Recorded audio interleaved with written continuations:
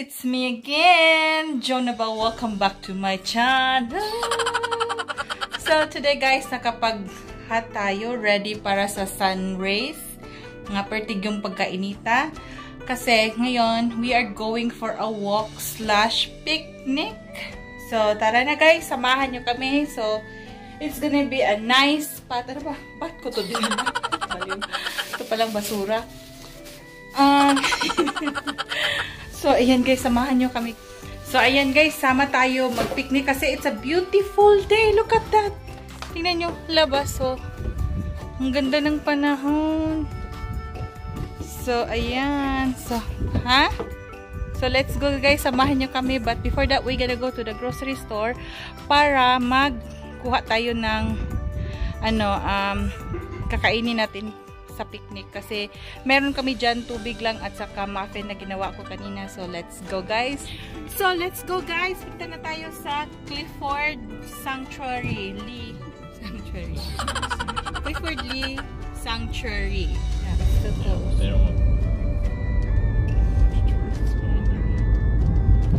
Pwede tayong mag ano dito maghabulan guys. Buong ano, buong araw.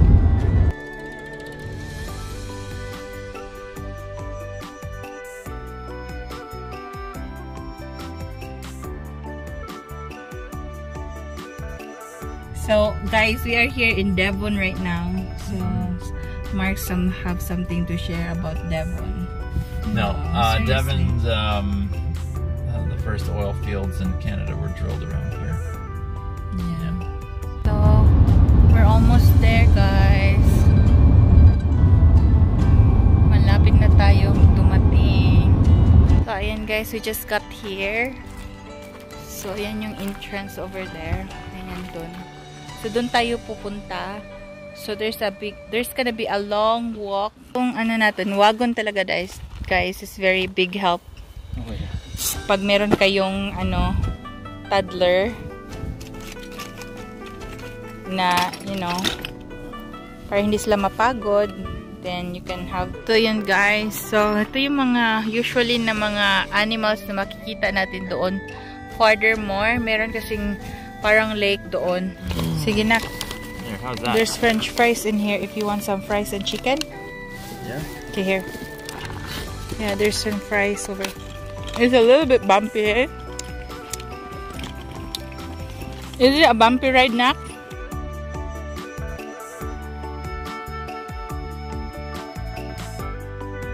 So, maganda siya dito, guys. Oh, yeah. You should.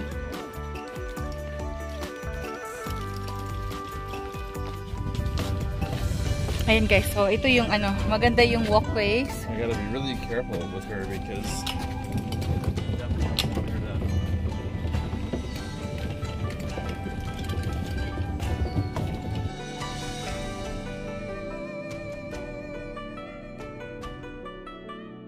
Nakikita nyo guys, madami ding naglalakad kasi ang ganda talaga ng panahon. Guys, ang init. Tapos naka-black pa naman ako. Sobrang init. Nagbihis kasi ako. So, ayan guys, ang init. Sobra. Tapos, naka-black pa naman ako na medyo thick siya. So, sana hindi na ako nagpalit. Ha? Butterfly? Okay, here. I'm gonna go first. So, ayan.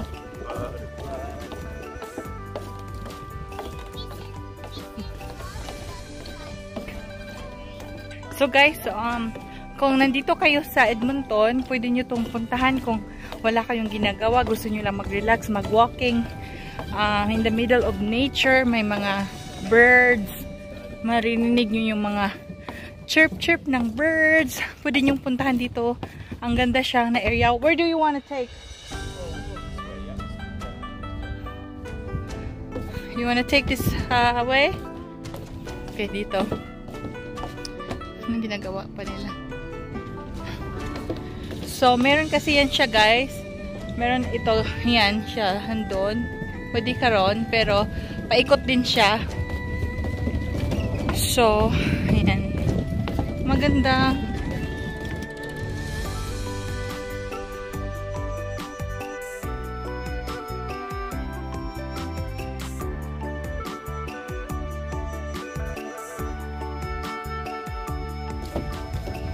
Malayo-layo pa yung ano, lalakarin natin guys.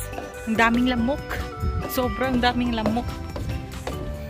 Siguro kasi may tubig. So, di ba, ano yan, tinglabas ng lamok yan pag may tubig. Bagal-bagal maglakad ng dalawang gutom. Gutom siya ng gutom. So, malayo-layo pa yung ano natin. Ayun, doon. Doon pa tayo, malayo pa. Lots of mosquito eh. Yeah.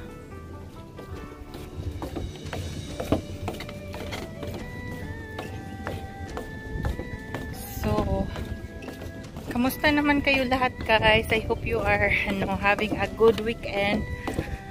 So, holiday dito sa Canada. So, they don't have work on Monday. So, siguro kung walang pandemic, open yung mga parks like yung park sa, Banff or sa Jasper. So, siguro maraming mga family na magka-camping. But because nga close lahat, so wala. So, kanya-kanyang ano na lang, kanya-kanyang paraan na lang kung gustong mag... Kasi yung mga lake, okay naman, ng mga lake, open naman. So, pwedeng mag-camping. Pero, observe pa rin yung ano, proper uh, self-distancing. Maybe kasi alam mo na hindi mo alam, 'di ba? Hindi mo natin alam na you know, so dapat dapat hindi pa rin tayo maging com complacent.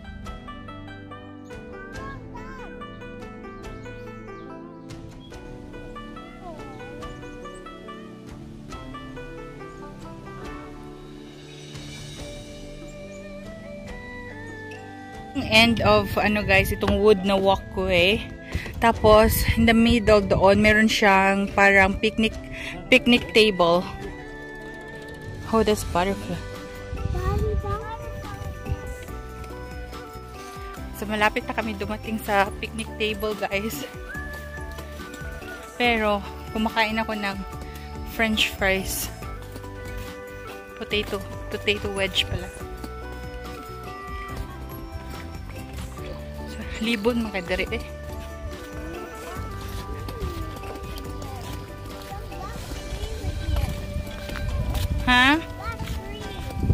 Black tree. Black tree daw.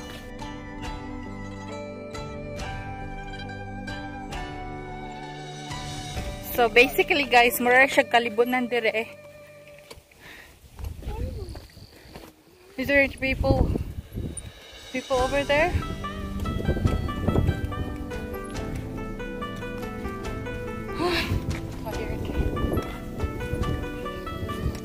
Mas okay ni siya guys para pahili sa bilbil pa. Hey I wonder where is the picnic table? I, I thought it's nawala yung picnic table. Hello.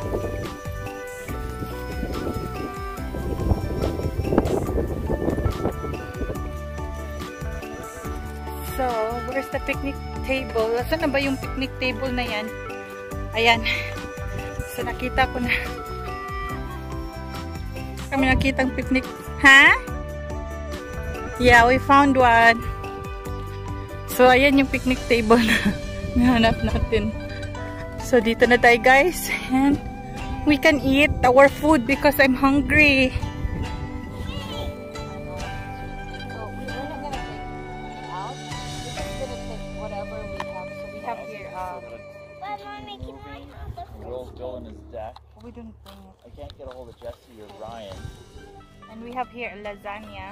Still waiting, still waiting to hear Jesse. You have some Uh, sandwich. I don't think he's. I don't really reason. Ang hangin kasi dito guys. And we have also a salad. So, kailangan din namin food. Come on, Samantha, don't give me an attitude please. Thank you. come on. So we have here um, we have sandwiches and we have salad as well and we have a uh, this is a lemon chicken Oh.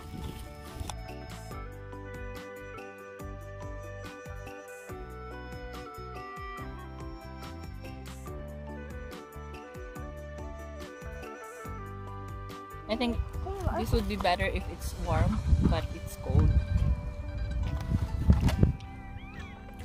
you're caught in the camera dad Oh God.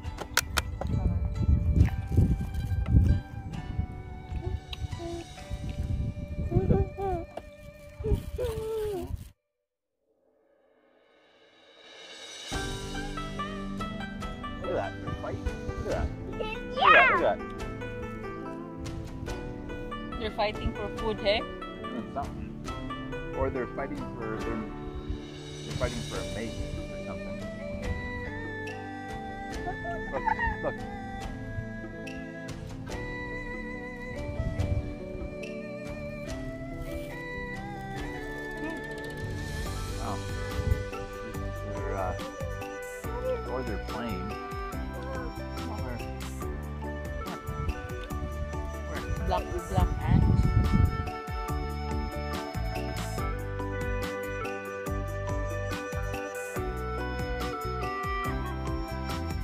And guys. So peaceful kay dire guys. Then look at that our surroundings. We're just having our lunch picnic. And then yeah we're almost done eating. Mark is done eating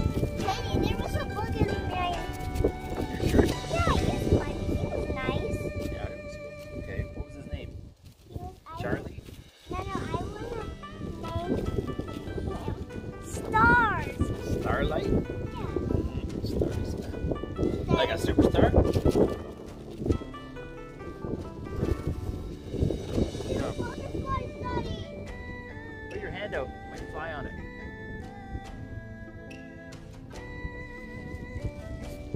no Take her to that butterfly exhibit again. where is that in Niagara Yeah. Yeah. Oh, my back. So, ang init ng likod ko, guys. Mhm. Oh, in the sun, yeah. And I'm wearing black too. Mm-hmm. It's too warm. Should have brought your um, your uh, kite. Oh out God, so hot. Feeling na ako maka-sunburn ko anin ako. Uh oh.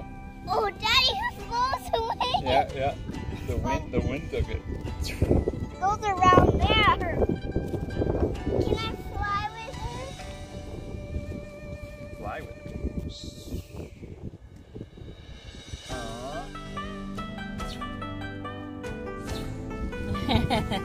Yeah. Looks like he got her wings. Ooh,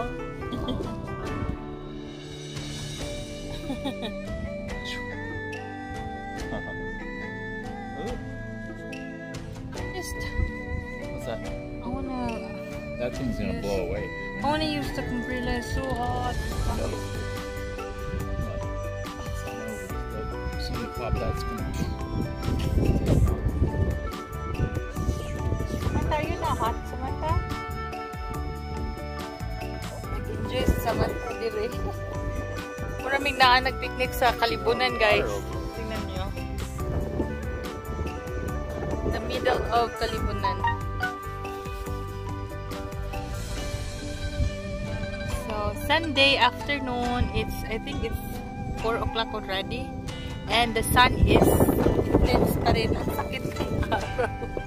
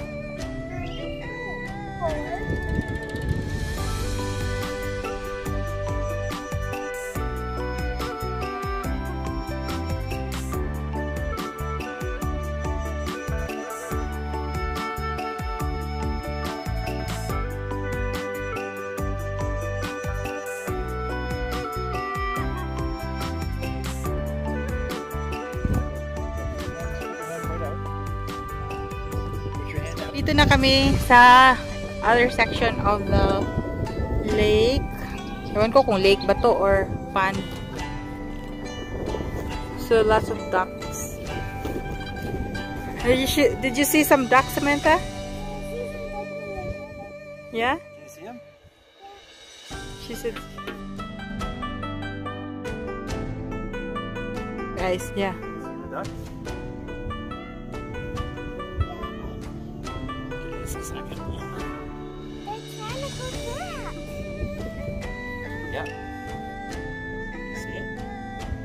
you see the duck? You see the duck?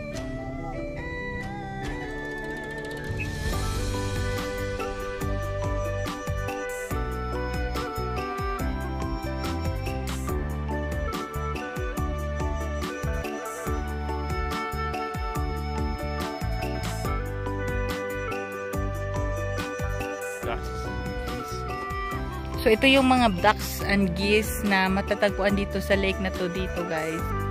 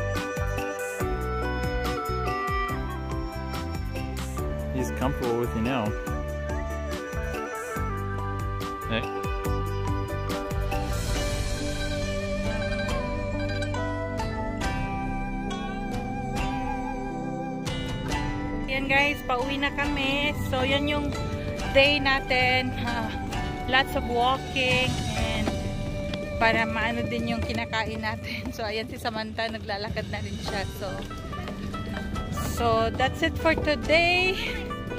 Thank you for so much for watching and I will see you on my next vlog guys. Bye! Say bye-bye!